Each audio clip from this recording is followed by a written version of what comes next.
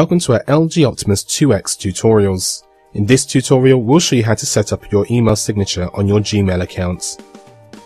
Firstly, start off by touching Applications. Now find and select Gmail.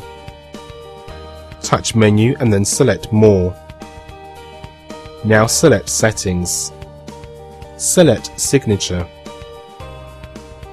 Using the on-screen keyboard, please type in your desired email signature. Once complete, touch OK.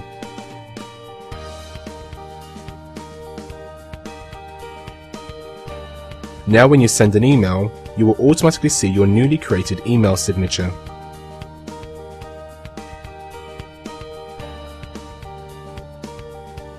We have created lots more tutorials showing you how to get the most out of your LG Optimus 2X. Why don't you check some of these clips out now? We hope you enjoyed our tutorial.